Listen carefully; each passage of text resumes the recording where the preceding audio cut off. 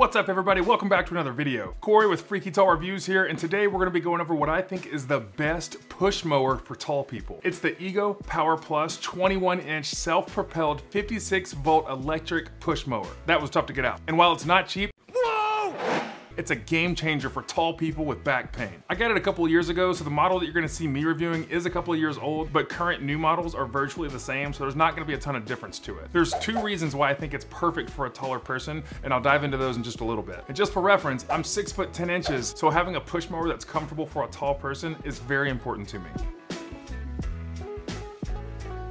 This Ego push mower is made with a plastic body, which sounds really weird at first, because normally you wouldn't want plastic on a mower, but it's actually super good quality and I have not had any issues with it shooting anything through the plastic. It is made for mowing. It uses a multi-blade system that has an extra blade versus a normal gas mower. It also uses a 56 volt 10 amp hour battery that gives a runtime about 75 minutes. That does vary depending on how thick the grass you're cutting is though. It uses a high efficiency brushless motor and it includes a grass collection and mulching bag. Some of the features of this push mower mower are actually really cool and not what you're gonna find on traditional gas mowers, such as a quick start with a button that requires no string pull.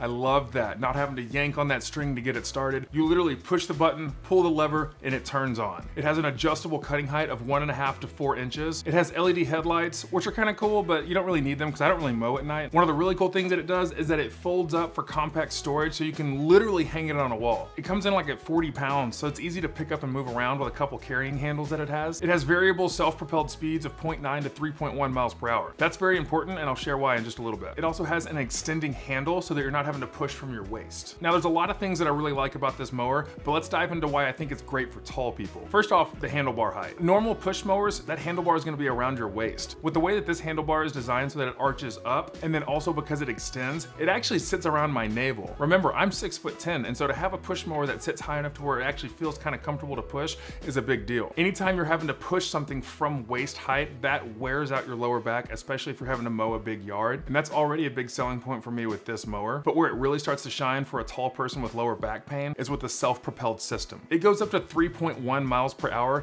and that's almost too fast for me to keep up with. So when you add the combination of the handlebar height and it being self-propelled, you're barely pushing if at all, and it's from a height that is much more comfortable than traditional push mowers. I have used this mower for over an hour at a time, and at the end of it, my lower back is completely fine and not sore. Those are the two reasons that I love it for a tall person, but the rest of the reasons are really cool as well. It is extremely quiet versus a gas mower.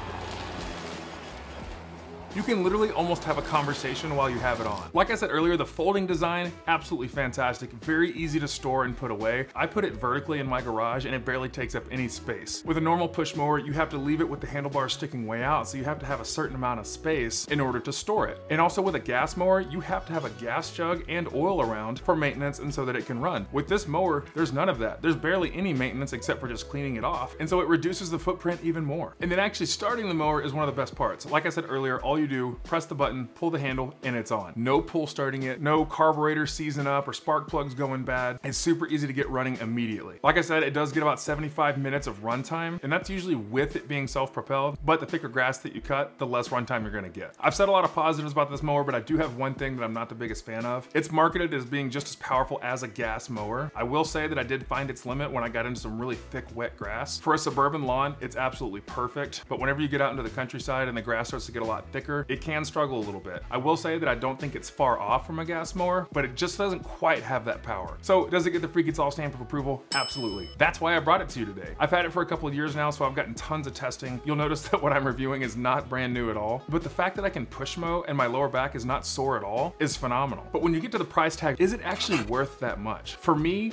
because of the quality and all the features that you get with it, I think it is. If you have a bigger budget for a push mower, I think it's worth considering. The fact that it helps with lower back pain alone is huge. Between the self-propelled system and pushing at a higher handlebar height, that already is a big selling factor for me. But then you add all the other stuff into it, like it being able to fold up, the easy start, no gas. I think it all adds up and makes it worth it. So be sure to check the link in the description below so you can see it for yourself. And I'd love to hear your thoughts. Do you think this mower is actually worth this price tag? So thank you so much for stopping by today. And since we're in the middle of spring as this video is being released, I hope this video brought value to you. If it did, be sure to join the Freaky Tall Reviews family. I have a goal of hitting 10,000 subscribers by the end end of 2022, and I've got a ways to go, so I need all the help I can get. So give it a thumbs up, click the notification bell, and most importantly, be sure to subscribe so that you see when new videos come out. Also, if you'd like to follow me outside of the channel, be sure to check out my Instagram and my Twitter. And if you want to support the channel financially, check out the Freaky Tall Reviews Patreon. I use the funds from Patreon to save up for new products to review, and it would be really cool if you wanted to help out with that. But as always, it's been an absolute pleasure having you here, and I greatly appreciate your time. Again, I'm Corey with Freaky Tall Reviews. We'll see you next time.